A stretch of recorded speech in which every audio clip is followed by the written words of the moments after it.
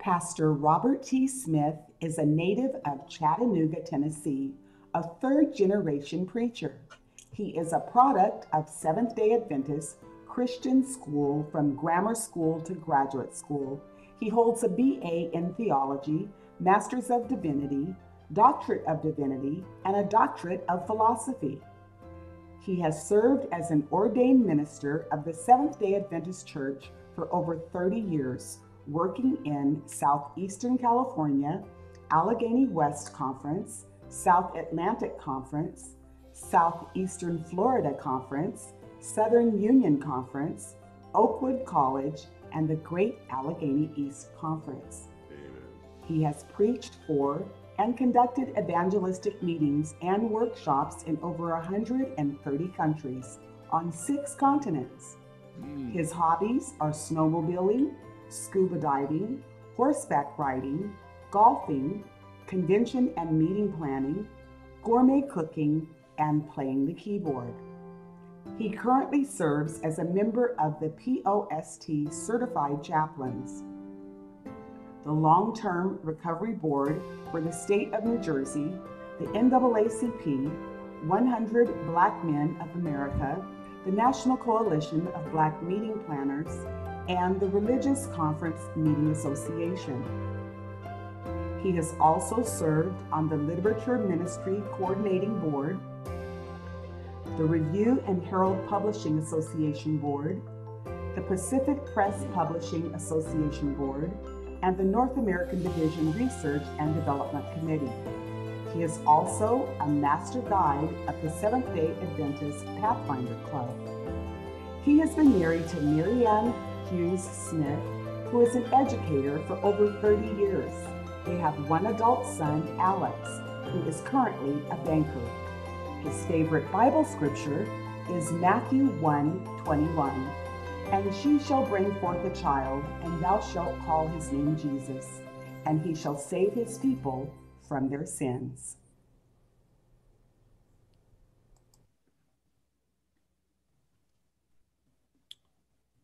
Amen. Let's bring on Dr. Smith.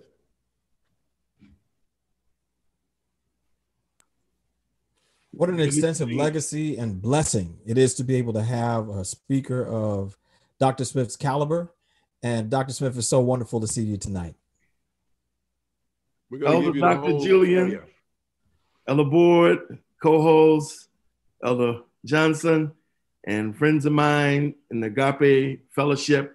I took my jacket off. I didn't want to look overdressed. I, I've, I've been running all over the place today, this weekend.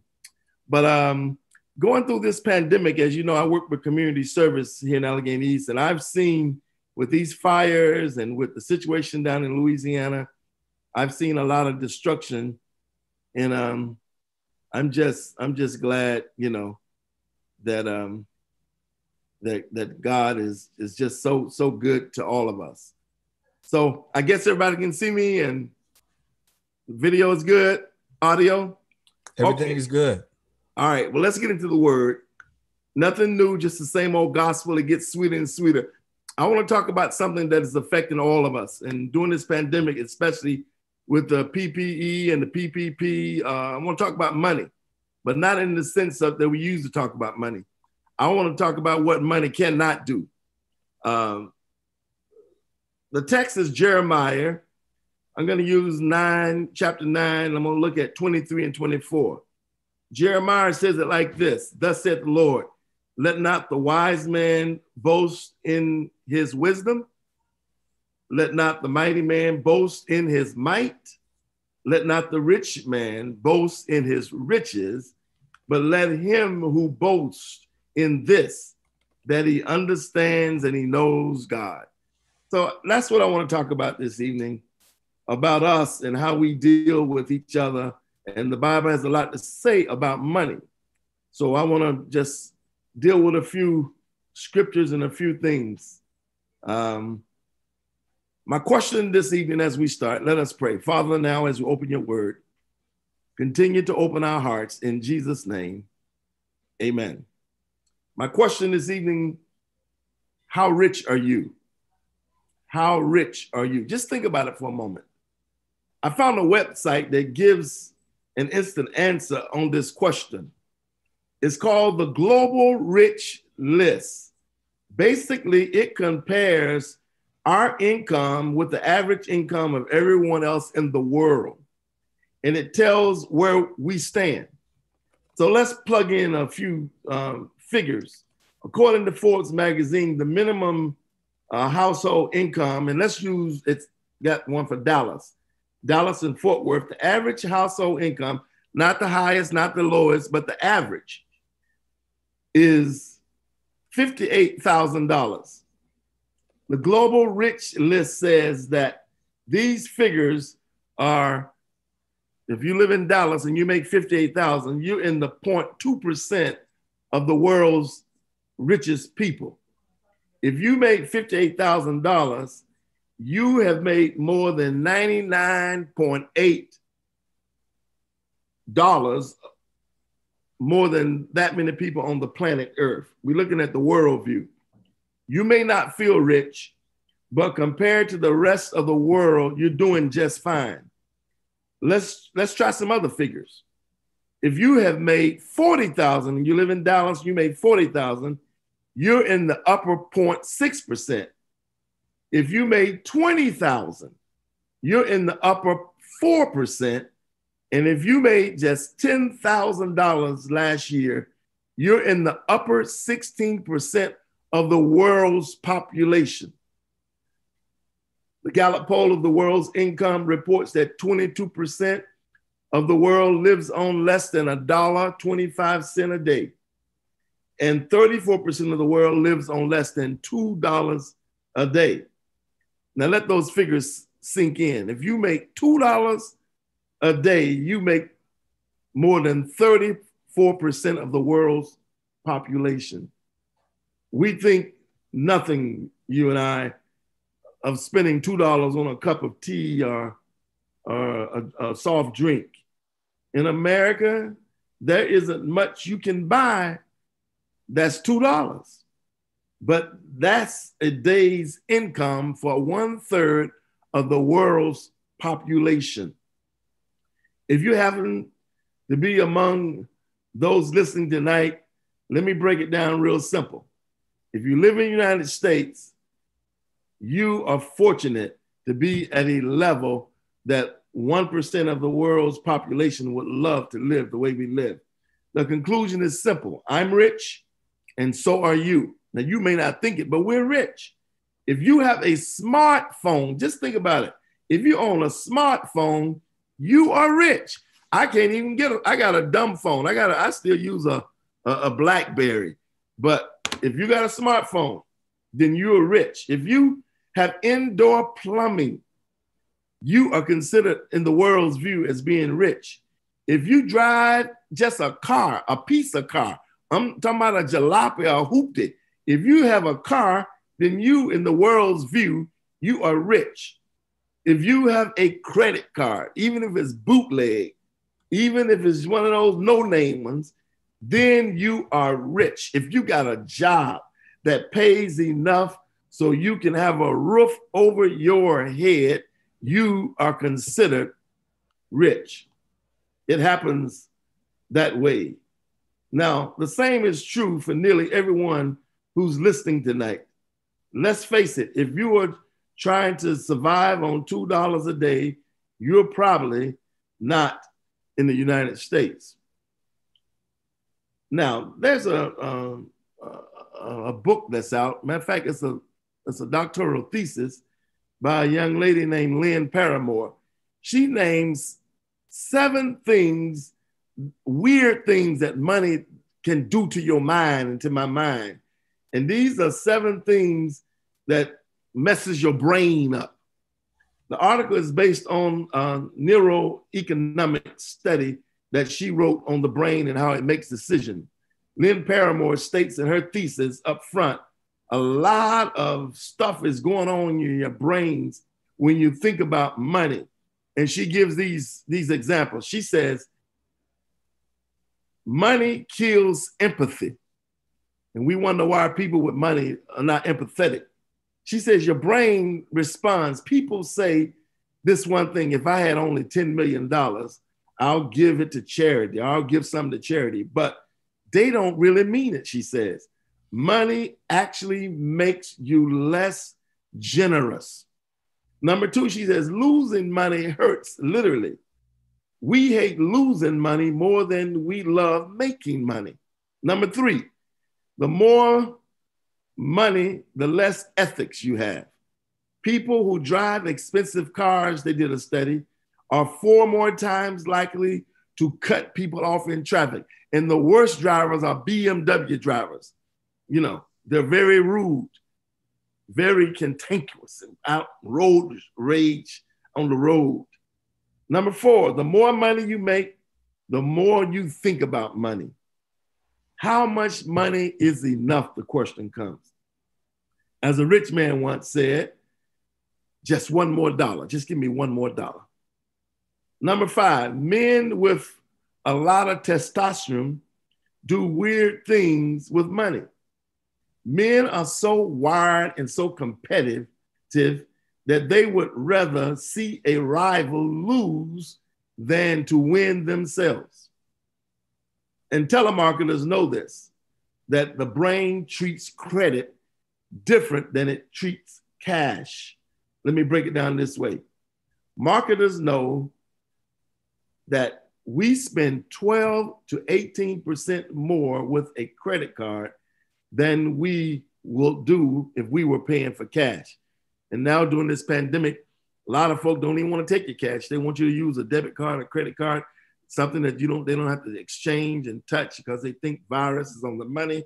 And it's been proven that most money, dirty money, filthy lucre has so many particles of cocaine and, and illicit drugs and germs and disease on it. And then number seven, the wealthy perceive are perceived as evildoers. the poor, they really enjoy the wealthy suffering because the tendency to envy lies deep within all of us. The poor enjoys that, she found out in her study.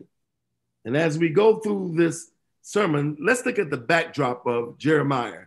And let's look at the backdrop of the New Testament in James, especially James 1, 9 through 11. Against this backdrop, this backdrop, we hear God saying, as he ponders the verse, remember the most early Christians when people first joined the church in the early century, they were poor people.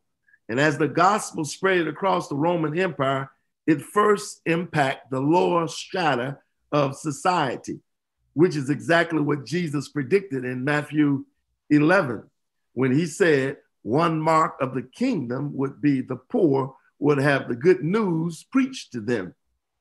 The coming of Christ brings about a reversal in the fortune of society. The poor will have the gospel preached. The proud, the Bible says in Matthew, will be brought low. The humble will be uplifted, and the poor will hear the good news of Jesus Christ. And since most of the people that were listening to Christ and James back then, they were poor people. And then James said in verse 9 of chapter 1, he says, Let the lowly brother boast in his exaltations.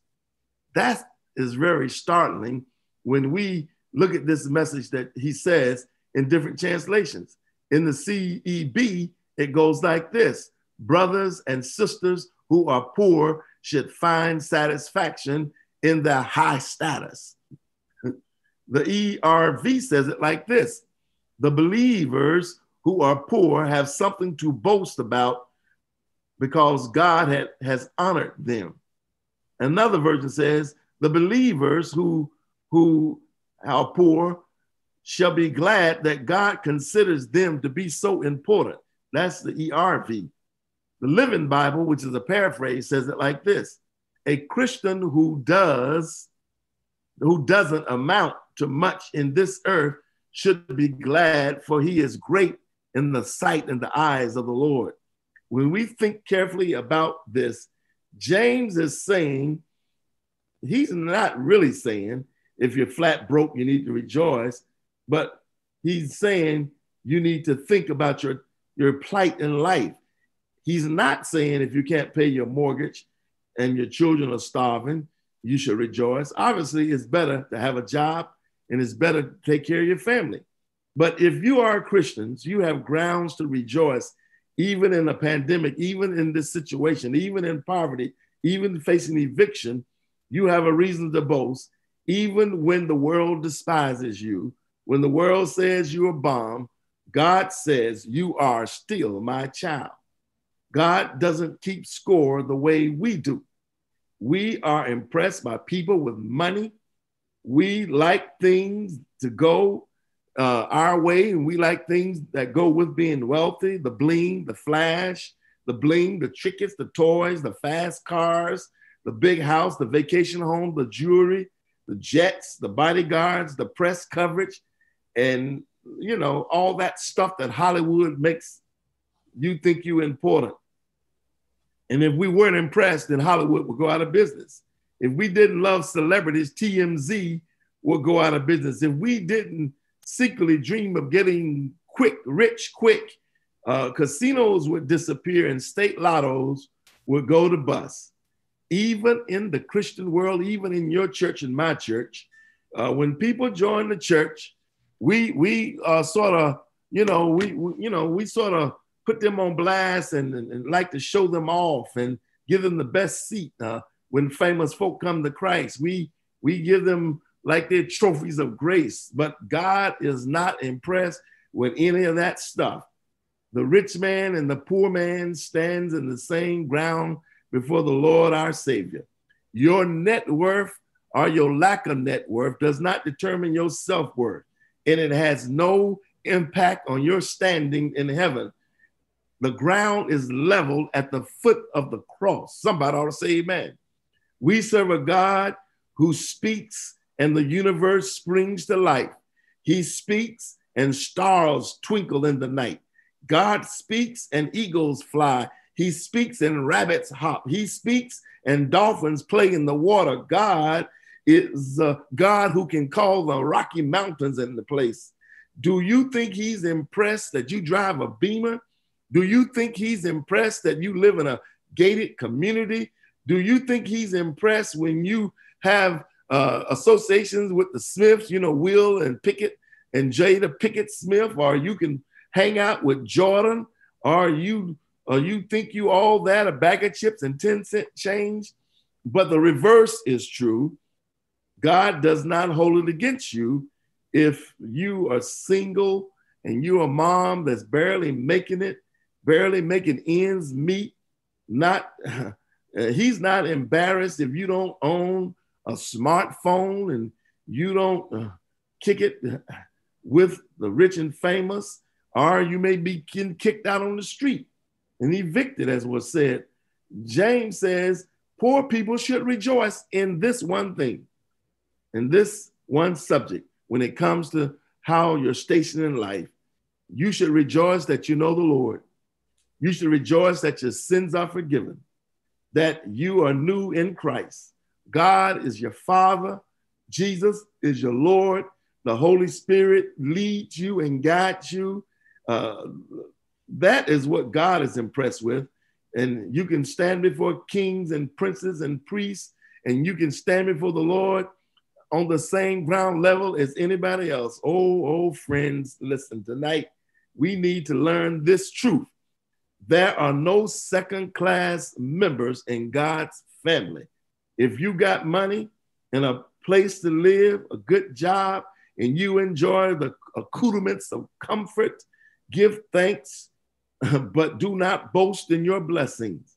Likewise, if at this moment you're barely making it, if you are out of a job, if your family is in a mess, you're tore up from the flow up, if your health is bad, if you're forgotten and feeling alone, if your health is bad, if you feel that God has forsaken you, if you wonder how you're going to make it, remember that your present condition does not determine your final destination. Let me say it again.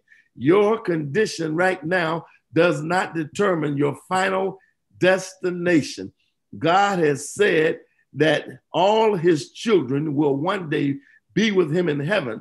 Some of us have it easy on the road that we're traveling through this life. Others have it much harder, but we will all get there the same way by the love and by the grace and the mercy of God. So let those who are poor in this world rejoice that their current condition is not their final destination. In the things that matter most, the poorest Christian is richer than the richest man in this world. The Bible says in James 1, verse 9, and the rich in his humiliation, because like the flower of grass will pass away, for the sun rises with its scorching heat and withers the grass, the flower falls and its beauty perish. So also will the rich man fade in the midst of his pursuit. James has more to say about the rich than he does about the poor. Money can be a major complicating factor in life.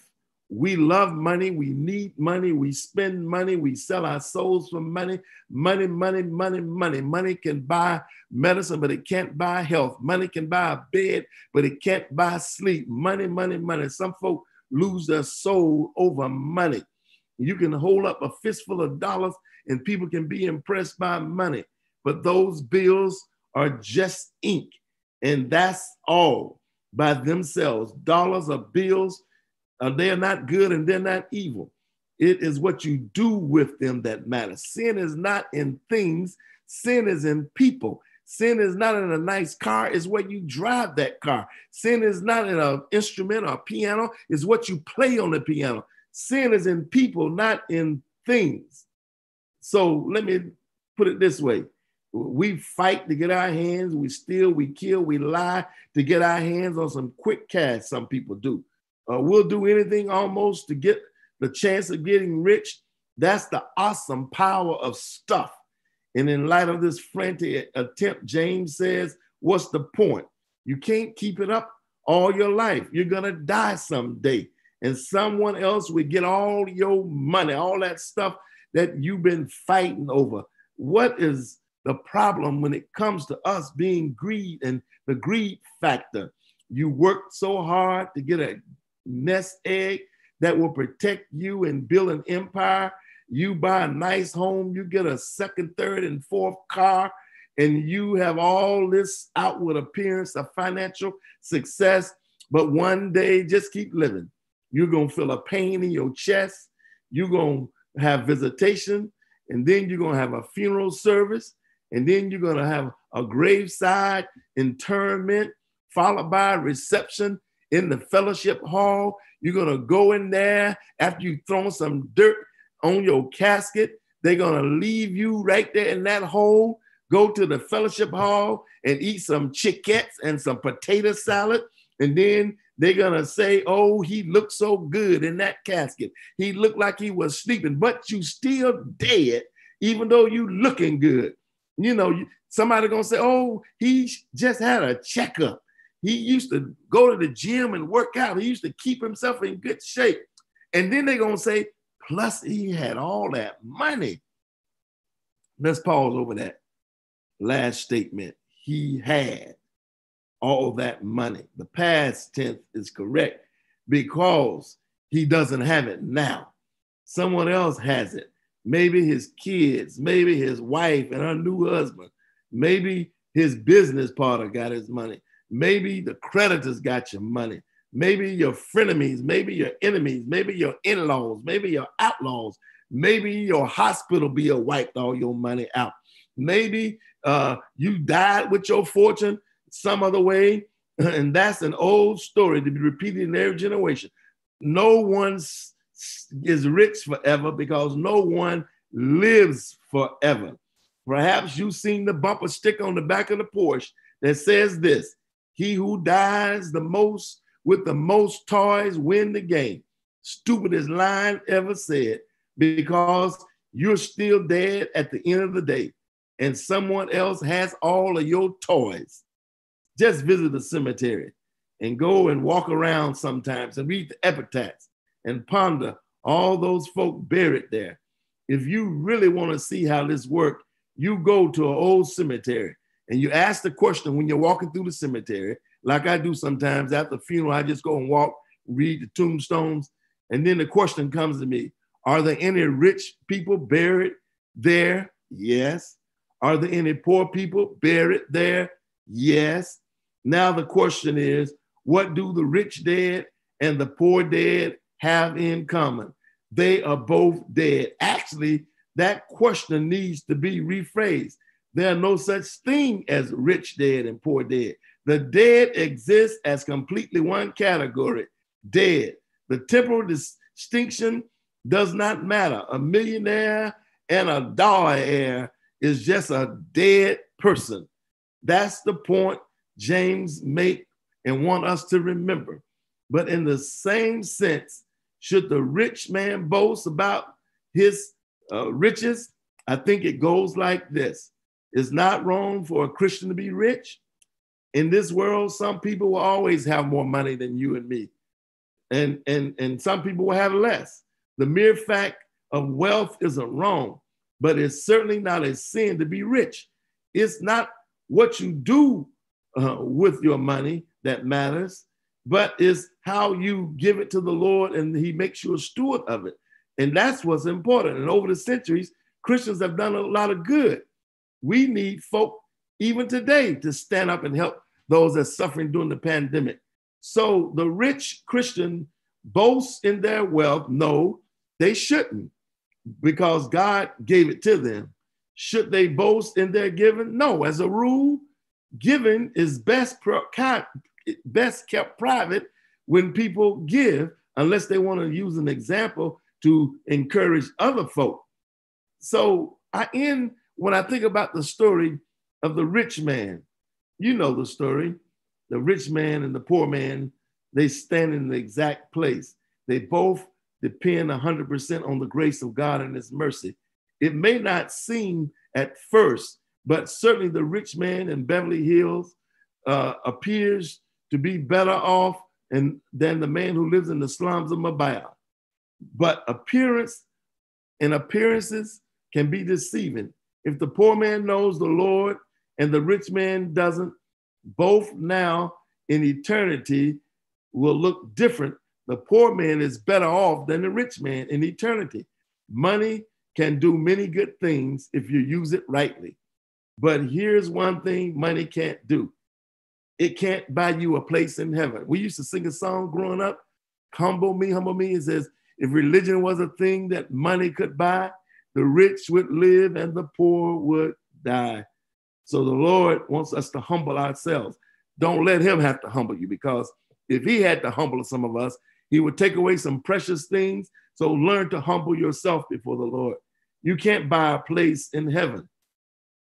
I love the story about the rich man on his deathbed negotiated with God for permission and to bring some earthly treasures to heaven.